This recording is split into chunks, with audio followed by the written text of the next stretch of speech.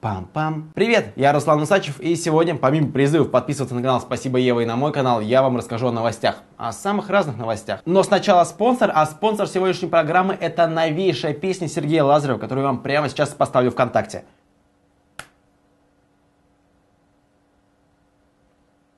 И в ответ тишина, потому что певец потребовал, чтобы все его песни были удалены из социальной сети ВКонтакте. Типа борьба с пиратством и прочее. Павел Дуров, конечно, удалил, изрядно при этом попиарившись, и теперь ВКонтакте не знает о существовании такого певца. Интересный прецедент. Не знаю, посмотрим, будет ли у него развитие, поддержит ли такое войну с социальными сетями другие исполнители. Ну и пожелаю удачи с продажей песен в iTunes и Сергею как его звали? Я в новостях обычно пытаюсь находить какие-то новые грани. То есть, может быть, что-то смешное или, наоборот, подтолкнуть вас к серьезным мыслям. Но со следующей новостью так не получится, потому что туда реально нечего добавить. Недавно в Магнитогорске, привет, Магнитогорск, спасатели из мусоропровода вытаскивали девушку, которая туда залезла в поисках своей косметики. Да, девушки, я не понимаю, это типичная для вас ситуация. Вы выходите выбрасывать мусор, и прихватывать с собой дорогую новую косметику.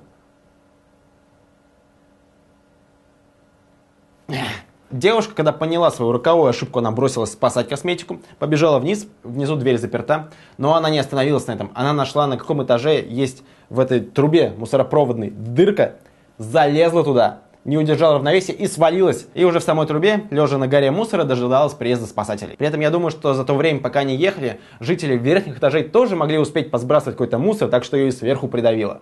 Возможно, другой косметикой.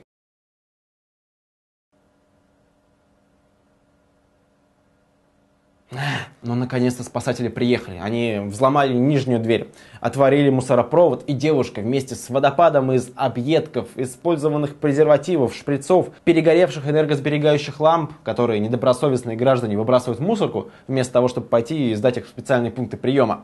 Так вот, она свалилась со всем этим вместе в объятия мускулистого спасателя. Самое фиговое, что вместо того, чтобы отблагодарить своего героя помойным поцелуем, она спрыгнула обратно в свою родную гору мусора и продолжила искать косметику. Не успокоилась, пока не нашла. Я даже не знаю, какой вывод можно сделать из этой истории. Серьезно.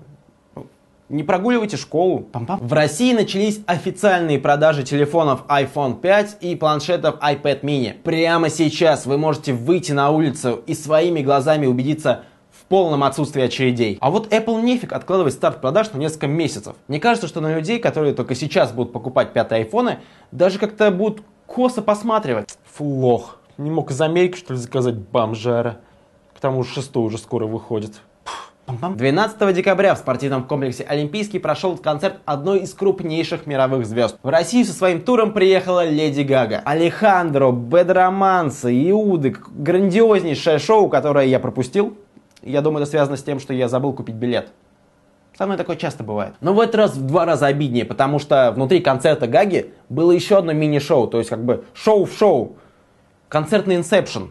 Дело в том, что Гагу немного освистали. Гага пошла по дороге Мадонны. Ну, то есть она, конечно, никогда с этой дороги не сходила, но, среди прочего, решила повтирать зрителям в Олимпийском о гомосексуализме. Ведь очевидно, что люди платят несколько тысяч рублей за билет, чтобы послушать точку зрения артиста о проблемах геев. Не то, чтобы кто-то, не знаю, песни должен петь со сцены. С другой стороны, можно понять артистов, им ведь хочется донести мысли до своих слушателей. Раньше для этого использовали тексты самих песен, но какую мысль можно донести с помощью песни, если она звучит как Алехандро, Алехандро, Али, Али, Алехандро.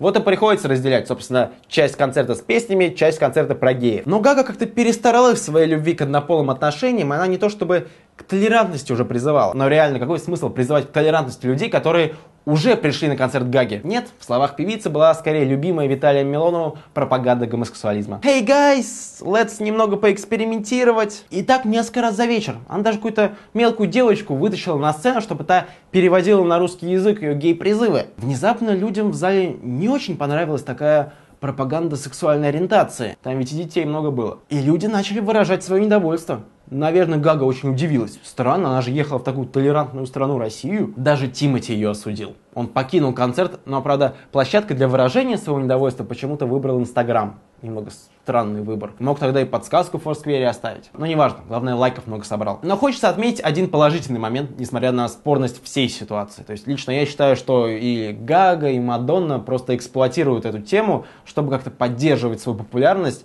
И это достаточно низко. То есть, ну, что дальше будет?